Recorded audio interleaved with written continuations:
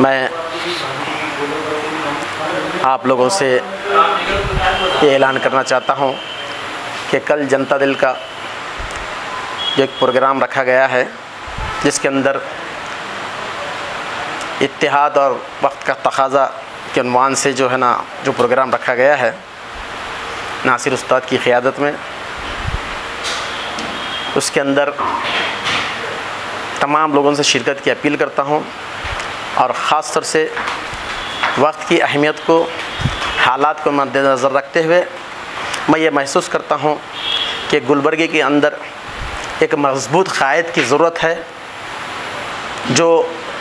हमारी आँखें तलाश कर रही थी। वो नासिर हुसैन उस्ताद के पास जाकर टिक गई। लिहाजा मैं अवाम से भी अपील करता हूँ और हमारे दोस्त अहबाब से भी अपील करता हूँ कि मैं ख़ुद भी नासिर उस्ताद के साथ मिलकर उनके लिए काम करूँगा और जनता दल में शामिल होना चाह रहा हूँ, होने जा रहा हूँ। और आप लोगों से भी अपील करूँगा कि आने वाले दिनों में हालात बीजेपी की तरफ़ से बद से बदतर होने वाले हैं। लिहाजा अगर हमारा कोई क़ायद होगा तो